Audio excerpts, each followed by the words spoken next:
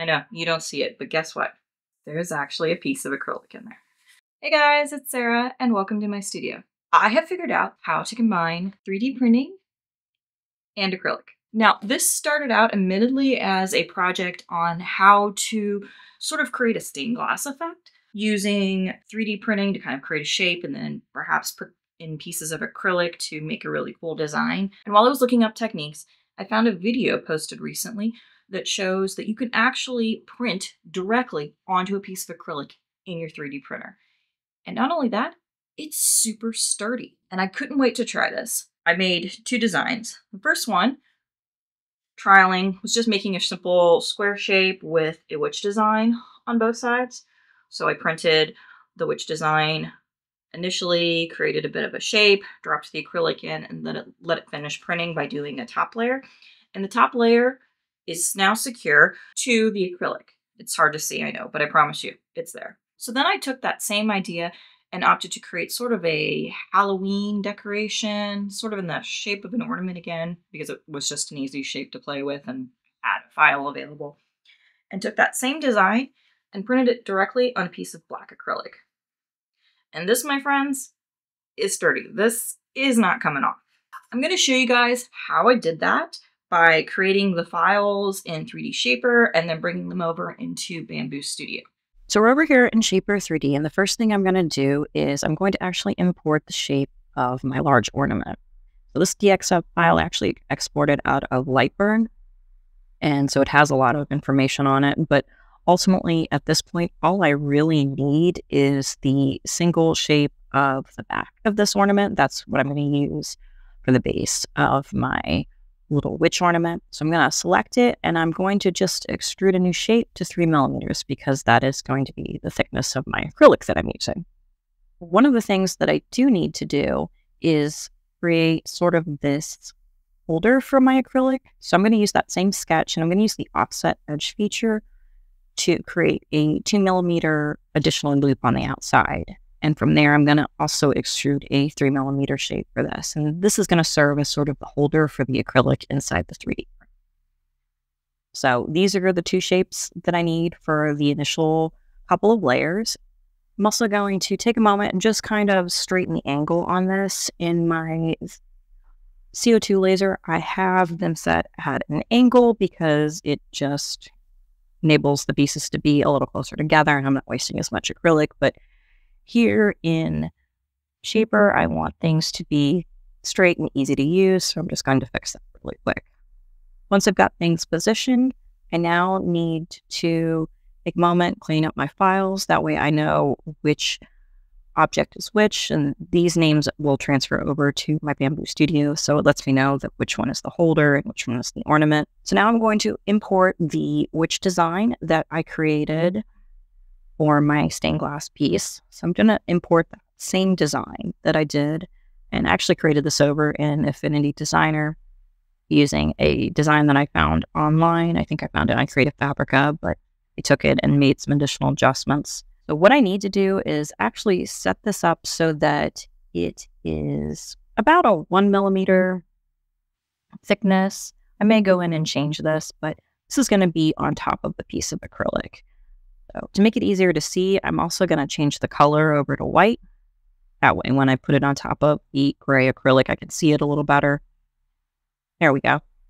So now I need to scale it down to the size of my ornament. And the one downside about everything that gets imported into 3D Shapr is that it always comes in really, really big. So I usually end up having to scale things down to get them to fit once everything is scaled mm-hmm. down, I'm just going to take a moment, make sure it's positioned exactly where I want. Just adjusting things here and there. There we go. And then I'm also going to bring this up so that it's sitting right on top of the acrylic. Now, the only thing I need to do is basically trim off the area of this design that I don't need. And to do that, what I'm going to do is I'm actually going to create a projection of the ornament. And I do that by basically selecting the item and under the sketch function and using the project and have it project basically to flat plane that I'm using as the sketch plane. what it's going to do is it's going to project that shape and create a new sketch. Once I have that sketch projected onto my surface, I can then go in and select it. And basically, what I'm going to do is I'm actually going to sort of extrude it through the shape of the witch so that it will cut off all of that excess area. Now, typically when you use the extrude function in Shapr, it's going to want to cut off that section in the middle. But if you tap the button just under the numbers there, you can actually change it to intersect, and that will actually leave the section in the middle. There we go. So this is all the design of the witch now perfectly cut so that all of that fits on top of the acrylic. Now, it looks pretty good. There's a couple of little areas, though, that I'm not completely happy with. I feel like there are extra little pieces that aren't really necessary. And so I'll just kind of go through and try and clean things up so that it's all sort of, you know, one connected piece. That's a little better. But I still have a couple of areas that I want to fix. And so in mm-hmm. order to do that, I'm going to actually project the sketch of the witch also onto my sketch plane. And doing that because it's so complicated makes it look really kind of messy. So try and follow me here. But basically, I'm zooming into the area where I want to do some trimming and I'm just taking and creating new lines at intersection points. And this was a little hard on Shapr in terms of trying to process where I want things to go. And truth be told, I cut out a lot of thinking time from my iPad, but it did eventually do what I wanted it to do. And that was connect some lines at the top. And then I did a similar trim on the bottom where this where there's this little extra area that I just need to basically cut off. And I do that in part because once I cut these areas off in the sketch, I can do that same extrusion trick where I can pull up the pieces essentially cut off. So once that's done, I'm fairly happy with the design at this point. I think it looks pretty good. And I think I am ready to export this and send it over to Bambu. I will make one final adjustment before I send it over, and that is to reduce the thickness of the witch layer to 0.6 millimeters. I feel like one is probably too much. I also feel like I need a little extra detail on her. So I think what I'm going to do is I'm going to add a little cute little boo if you will, to the inside of the witch. And I'll do that by adding text to the sketch, getting it sized correctly, and then moved into place. And then once I have it in place, all I really need to do is extrude it back through the layer of the witch, like I did with the other adjustments I did on the sides I like this outcome. I think it'll look really good. And I think it'll print pretty well. So I'm going to send it over to Bambu Printer. I'm just going to export this in typical 3MF format. Hmm. I'm going to take it over to my slicer. So once I'm over in Bambu Studio, I'm going to import the file. And when I bring it in, I do notice that there are a couple of pieces that appear to sized correctly. And that happens from time to time when I move files from Shapr to Bambu. I never entirely know why it happens, but it's usually a fairly easy fix since I know how thick they're supposed to be. So I can do that and they will scale down and be exactly where I need them to be. So it's a quick fix, nothing too major. Before I set this up to slice, what I need to do is I need to take out the portion that is marked as the ornament because that's going to be an acrylic. I usually double check, make sure that it is the correct size that I need. I know that my acrylic ornament is five and a half. Once I've verified that, all I have to do is click on that item on my plate and press delete. And now all I have left are the pieces that are going to get printed on top of the acrylic, as well as the little frame for the acrylic. So I'm going to switch up my material. I'm going to print the witch in sort of a gray PLA silk. I think that'll look pretty. I'm also going to print the holder in the same PLA silk because it doesn't really matter what material I use, and this will just prevent having to change material and extra purging. I'm also going to double check my settings and make sure I have them set correctly. I'm going to use um, these settings that I actually got from a model that seemed to print pretty well. Run it through the slicer, make sure there aren't any errors.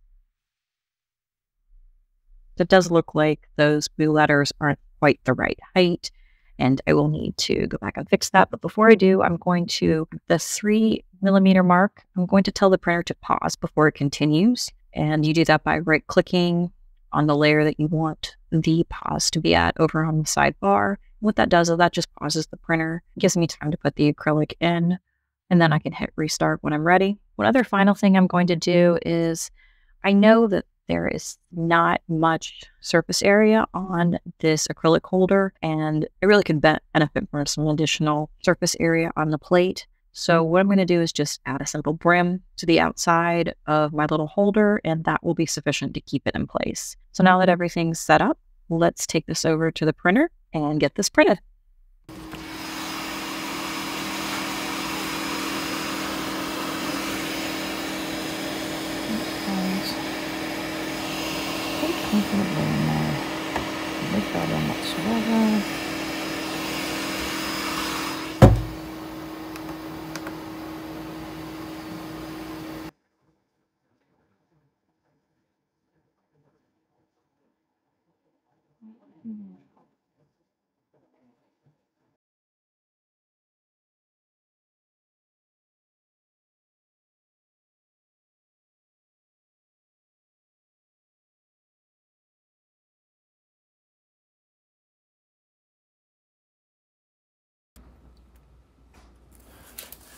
So there you have it. That's how you create a really simple design that you can print onto a piece of 3D acrylic. Probably wondering what exactly would you do with this? I mean, what is the purpose of doing this? I mean, you could still cut the exact same shape with a piece of acrylic. It might even be simpler and then just, you know, combine the two together. Well, there are some uses for this technique that you might not necessarily think of. The number one thing that comes to mind is the fact that no matter what you do, you can't really get transparent PLA or even PETG to look completely transparent. It never is going to look like glass. It's just unfortunately a limitation. But with this technique, it enables us to create prints that need an area of clear and then being able to combine them into a complete print so that you get that area that you need clear. It also enables you to sort of combine techniques. Again, I'm thinking about, you know, how I might be able to create stained glass frames and then be able to just cut pieces of translucent acrylic and put them in the shapes and then seal the shape and it'll be sturdy and create kind of a unique design. The other possibility that I found is the fact that this creates a really sturdy bond. Like the acrylic will typically break before the PLA will come off of the acrylic is what I saw in the video that I was looking at, which means if you're wanting to create handles or some additional attachment onto the acrylic, this becomes a possibility. The other possibility that comes to mind with this is the fact that with 3D printing, you can actually get a waterproof seal. It turns out when you're bonding to acrylic, you can also get a waterproof seal with that.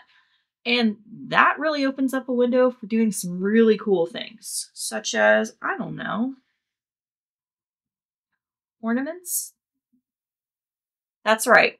That shaker technique I taught you guys a few weeks ago, you can actually create waterproof seals to put mineral oil inside between the pieces of acrylic and it will be waterproof. This can be done both inside the machine or by creating a small channel. And I'm going to show you guys how to do that in my next video. So if you want to find out more, hit that subscribe button, ring the bell, and I'll catch you in a couple weeks. Bye!